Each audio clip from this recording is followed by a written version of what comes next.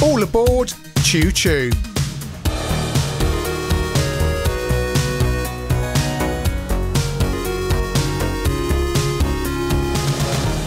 Thomas Tank Engine, big money these days, new series, and uh, all very different from what we know, which is basically a grumpy Ringo Starr narrating over a load of rubbish model trains. Face facts. The stories are, of course, from the Reverend W. Awdry. So this may be the first time on Vision we've reviewed a game based on an IP uh, devised by a man of the cloth. Assuming that is, unlike a former Amiga games reviewer, that he didn't buy his title on the internet. Of course, being a kid series, who was going to buy the license to this alternative? Alternative would buy the rights to any kid series that they could then plunder for their own commercial benefit. And we're going to start off on the Spectrum. This version is coded by Enigma Variations, uh, famous for their um, they did Defenders of the Earth, didn't they? And including a Sam Coupe version. Look, there's Thomas Tank Engine. He's bouncing around. Graphic by Jeff Goatsy. Jeff Goatsy? Right, got the easy game or normal game. We're going to start off on the easy game. And we have to select a track. And you have to drive Thomas the Tank Engine to do a task from one end of the map to the other. So we're taking the letters to the city. It's the mail train. There I am. And uh, there's other trains on the tracks who will crash into you, and there's obstacles. Your train goes slow or fast, depending on how long you hold the joystick down for. And, um, whoa, whoa, whoa, whoa, whoa! Oh, right, wag your finger at me. It wasn't me. You reversed into me. Right, so off we go. Time is denoted by the colour in the bottom there, where my little uh, depiction in the status bar of the Thomas Tank Engine is and, and the sun, when that gets to the end and goes dark, that's the game over. Oh, I've crashed again.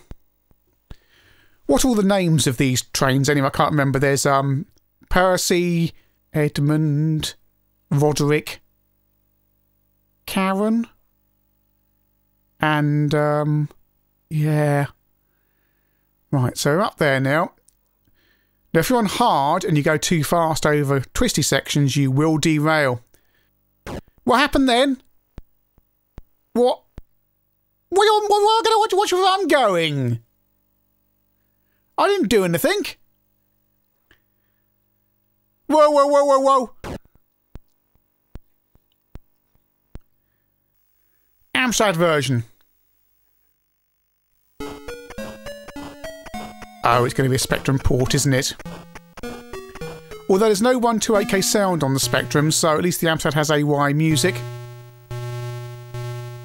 Right, we're taking the children to the beach. It's the Intercity 125 Express. So it's exactly the same as the Spectrum version with all the control difficulties, and presumably I'm going to be crashed into pretty sharpish. Now, what you have to do is you Halfway through the map, there will be a carriage you need to pick up that's parked in a sidings full of children in a sidings, and then you continue to drive on to the end of the map. Why you don't just start off with the with the carriages or pick the carriages up first, then go to the station, I don't know. But they have abandoned a load of children in some sidings in a railway carriage.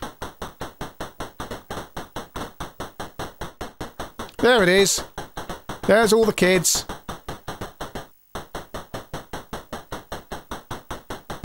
Choo choo, right. Oh, what? Oh, oh, oh.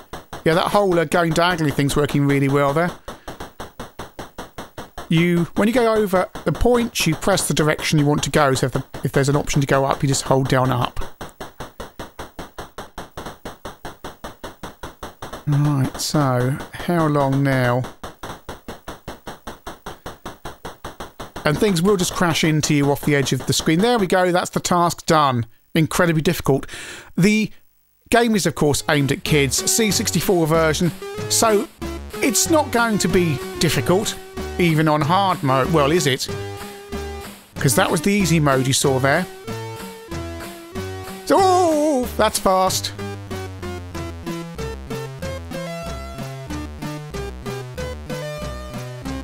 So you, you've only got these two speeds. Where did he come from? Where did he come from? There was nothing on that screen. Why has a rock suddenly appeared there on the bottom rail? Where did Percy come from then? Where did he come from? What is going on here? How can I be careful when there are trains appearing out of nowhere? Again, Percy there. Right, that's an obstacle there. There's my... I've got the carriage. Right. What are we doing this time? Doesn't matter, does it? Where did he come? How can these trains appear from nowhere?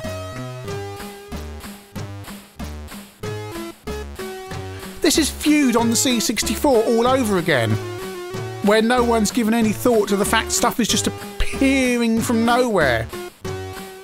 Whoa, whoa, whoa, whoa! What's the? Where did where did he go? One minute he's hurtling towards me, next minute he's gone because you changed screens and just obstacles appearing and oh my goodness. The music is the same kind of dum dum dum dum as the music on the alternative game Postman Pat. Over to the uh, ST. Oh may I? My blood pressure. Oh, this is really good music, isn't it? I mean, it's been programmed by someone who's clearly tone deaf as it hits all the wrong notes. This bit's okay. Where are we going? Let's take the children to the seaside again.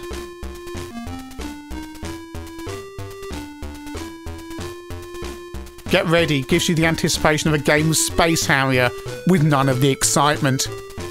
All the scrolling's um, really jerky. So we've got two speeds again. Except on this version, you hold down fire to go fast.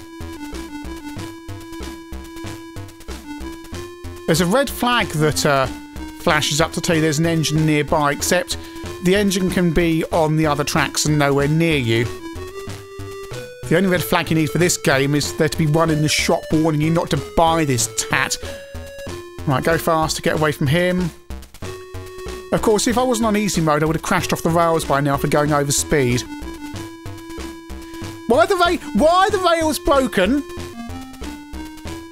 Is to make me go slower, I suppose.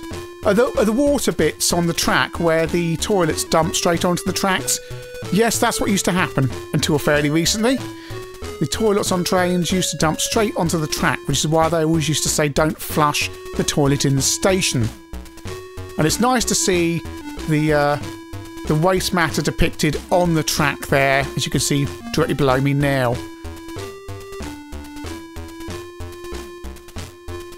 Why? What's the bell there? Oh, oh, been crashed into. Who is running this rail network? There's trains everywhere. Any child who has a train set, I had a train set, you know, you just. You have signals, you control things, you set the points. I shouldn't be allowed to just hurtle onto any set of rails under incoming traffic! Over to the Amiga. Let's take the children to the seaside again. We get some nice samples of Thomas. No, we do have some decent music though.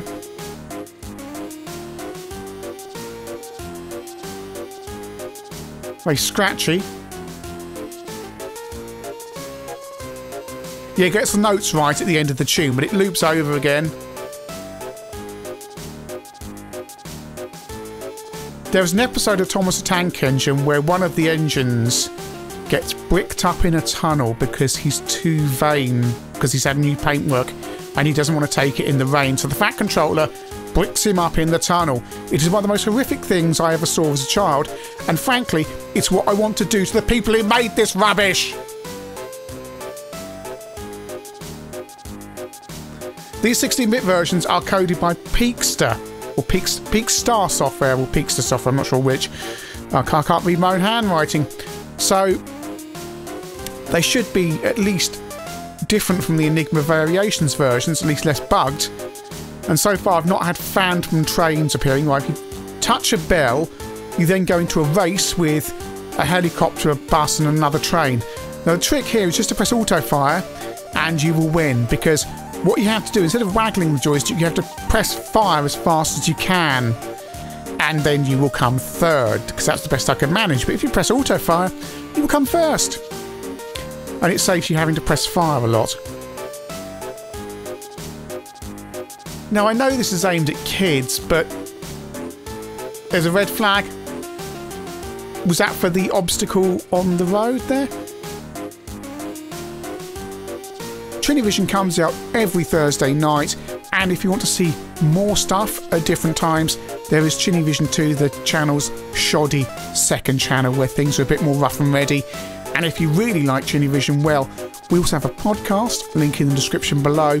And if you really, really like us, there's a Patreon where for just a dollar a month or a pound a month, you can come in and get previews and exclusive videos. Over to the PC version. There is no AdLib support, so I'm having to put a microphone on the PC speaker. It is evident that the 486 PC I'm running on is slightly too fast for this, so there are a few glitches. But don't worry, even though we're on the PC BP, you're not going to be spared the awful, awful music. Let's take the mail to the next town. The difficulty of the task seems to go, uh, start off easy on the left and then on the far right that's the hardest, but you can do nearly all of them on easy setting at first go. Right, there's a helicopter we are racing, who's incredibly slow.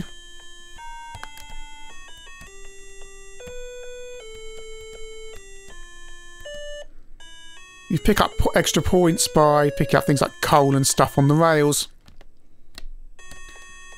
There's no fuel. You're a steam train, so you think you. Oh, hang on. All right, I've got things going on there. You've got a steam train, so you'd think you'd need to beat, um, uh, uh, kind of feed it with coal and water and stuff, but no. I think on this PC version you have to beat the. Hurry up, Thomas! You have to beat the helicopter. You're racing someone, perhaps. And when you crash, which, and it won't be your fault, you always send back two screens or to the start. Why don't they have signal? Why doesn't this game have some kind of signalling? There's signs by the side the, uh, the, the tracks to tell you things might be happening in certain places. But you, you come up to bits like this where there's just engines manoeuvring back and forth, seemingly for no reason. Right, we can get past there. See, what's he doing there? Oh, he's going to drive into me because apparently no train in this thing apart from yourself can take avoiding action. Back to the Spectrum version. Hurry up, Thomas. Oh dear, I derailed. Many people have died.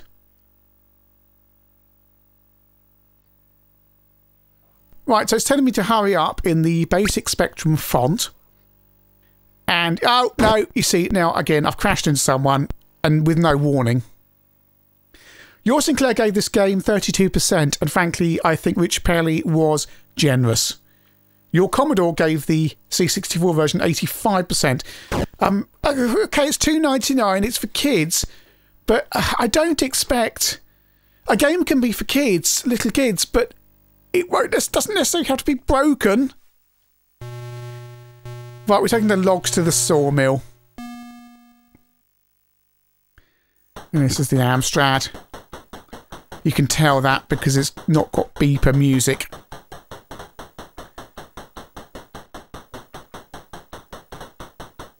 Right, let's find which siding. There we go. There we go. That's where the logs have been abandoned. Doesn't look like a log wagon, but all the wagons in this look the same, even on the 16-bit versions, where an old tanker just looks like a a normal carriage. Oh, someone's going to crash into me. Oh, for... Ugh. Careful, Thomas. Look where you're going. Back two screens. This game is less entertaining than O Dr. Beeching.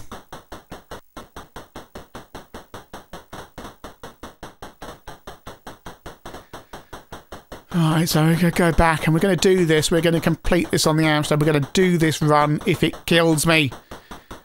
Right, no, no, I can't. Ah, reverse back. Try and go over the points again.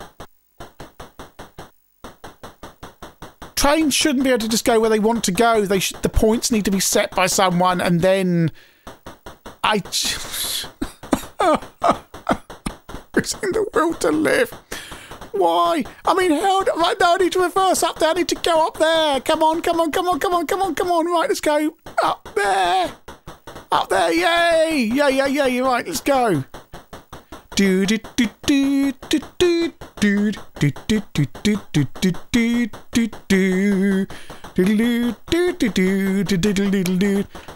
Yeah, anyway. Um Well, how far to the end of this run? No other trains to crash into me at the moment. I think we're getting away with this. With our delivery of logs. Oh, let's get 800 points. Our day has vastly improved by getting 800 points. Which way should we go? The way that's probably a dead end or this way? See, look, it was a dead end down the bottom. We're winning for a change. Oh, which way this time? Who knows? Well, that's the timber yard, so... Right, okay, that's where... Well done, Thomas, you finished that task. Wow. Back to the 64. Hurry up, Thomas. Oh, there's a log on the road, but a trail, but you can push past it. Whoa! Care they can't spell careful. Whoa! Careful has one L. Right. Uh, again, Percy's a... Where did that come from? Oh, I go back and come back on again. The obstacle has changed and I can push past it. Game over. Game is over in so many different ways. You have run out of time, Thomas. If you don't try harder next time, then your job will be given to someone else. Give it to someone else! Right, there's an obstacle on the Spectrum version on the track there.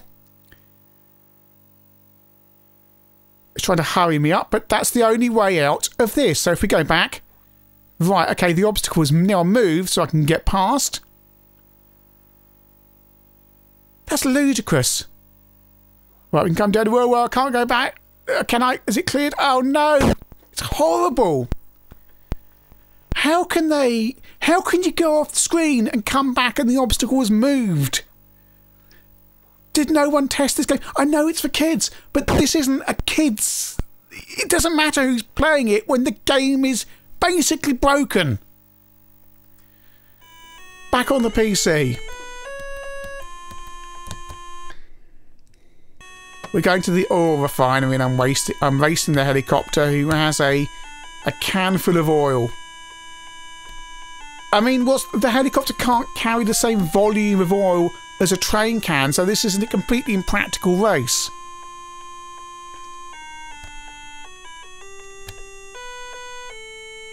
Oh, oh, oh, it's doing that. Stop! I should probably research the name of all the engines, but I'm not Mr. PSB, so I don't care. Right. There is a sequel to the 16-bit version as well. It's Thomas the Tank Engine 2, so Alternative can rinse people again. And there's a simultaneous two-player mode. Yeah.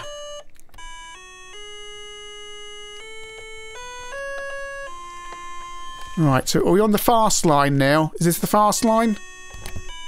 I'm not going to go fast. On all these versions you have two speeds, with the fire button being held down on the 16-bit versions to make you go faster. Frankly, it's not worth it. Unless you need to get out the way sharpish because if you're going fast, that does give you even less reaction time to a train hurtling towards you. Plus, you'll probably derail. Red flag there. The game on the 16 bits also comes with a memory game. So you get extra value for money. And you have to match the cards against the computer. You can't help but think the effort would have been better put into actually making the main part of the game slightly better.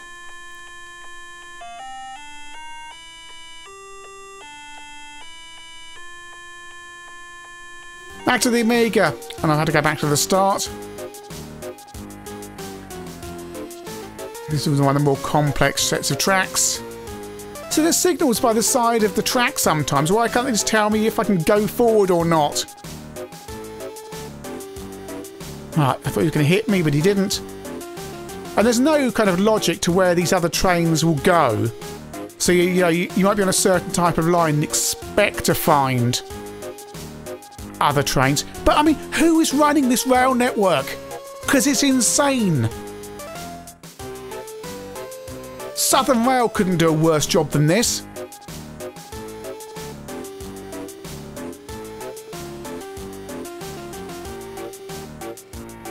How come he can go faster over the broken track than I can? Because I have to slow right down. Oh, this is tedious. And indeed, who is maintaining this track? Broken rails. It's like, where are we? North Korea? No, no, this is far too bleak for North Korea.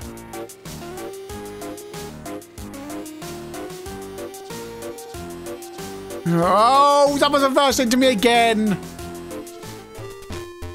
ST version. Oh, and that's um, uh, Gordon. Gordon has rear-ended me. And he's going to do it again. Oh, no, no. I thought he was going to do it again. Oh, yeah, how horrible is the scrolling on the ST when you come across the Amiga and PC? Oh, stop shouting at me. It's a fat controller got a beard in this version. Thomas the Tank Engine is a completely rubbish and cynical cash-in on a popular kids' TV franchise. And oh, how many times you can say that about alternative games. All three 8 bit versions since they're fundamentally broken. You can leave the screen and come back on. The obstacles on the screen will have moved. There's no logic to how the engines are running. Goodness knows what's going on. They just randomly spawn all over the place, and it's purely designed to frustrate you from coders who simply do not care. The idea is you can just pump this rubbish out to little kids and and it doesn't matter because it's got Thomas the Tank Engine on the front and as long as the code actually runs doesn't matter. An alternative do this so many times. Count Duckula 2, an absolutely obscene, awful piece of code. This actually runs at a decent speed, I'll give it that. Although the Amstrad version does chug a bit and is incredibly ugly, but it's just lazy and horrible and done without any care or attention to detail. The 16 bit versions, graphically, as a still screenshot, they look fine. It's only when you come to play them that the gameplay is, again, rubbish. It's not as horribly implemented as the 8 bit versions. There is more logic to where the other engines are going, and they don't just suddenly spawn out of nowhere when they weren't behind you before, and so on. So, but it's very little more fun than than I had on, say, the C64 version. As I keep on saying, the game is for little kids. That's fine. A game can be simple, Postman Pat is a good example of an alternative game aimed at children. It's actually a good game, and the whole game world works. It's polished, it looks good, it sounds good, it's a worthy part of the Postman Pat franchise. The sequels, no, but the original game, yes. This is not a worthy part of the Thomas the Tank Engine franchise. It's just a cynical, cynical cash grab from a publisher that has learnt it can churn out any old rubbish as long as you've got a known face on the cover, it will sell. Shame on you, Alternative, and shame on you, Enigma Variations, and to a lesser extent, Peakstar Software. Absolute dross that I want to see bricked up in a railway tunnel.